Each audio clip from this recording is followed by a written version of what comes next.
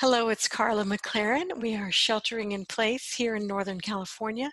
And something I'm seeing is that in many cases, people are having difficulties feeling as many emotions as they're feeling.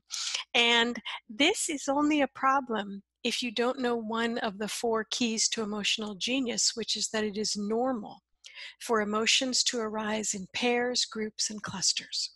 So as we go forward into this short video and this short video series, I want to give you an idea of what to do when you have more than one emotion up at the same time. For instance, a lot of people are feeling fear and anxiety and panic and not having skills for them. They are feeling overwhelmed. And what I'm seeing a lot of people saying is don't be afraid, don't be anxious, don't panic, don't feel, don't.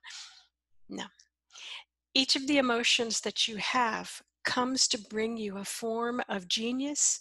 It brings you gifts, it brings you skills. All of your emotions are necessary, all of them are vital, and especially during a difficult time like this.